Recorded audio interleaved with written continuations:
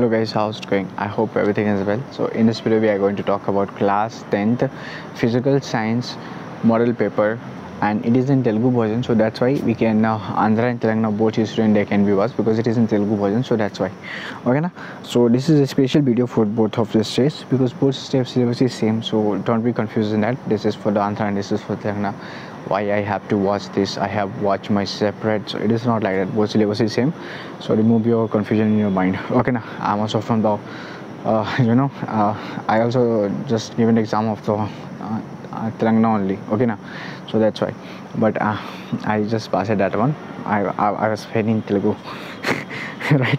So that's a different topic. All right is it clear? Okay.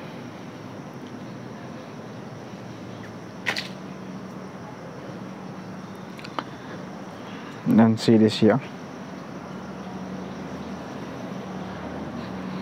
then here you can see.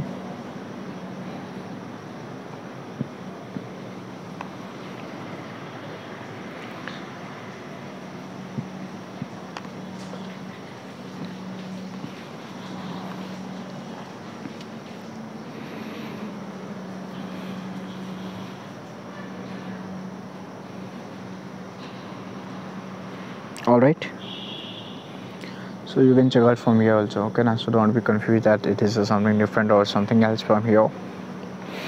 Okay well actually in this paper is here only. I hope this video is going to be very helpful for you.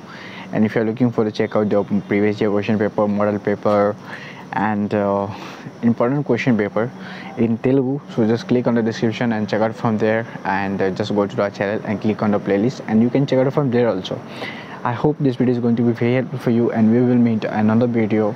Jai Hind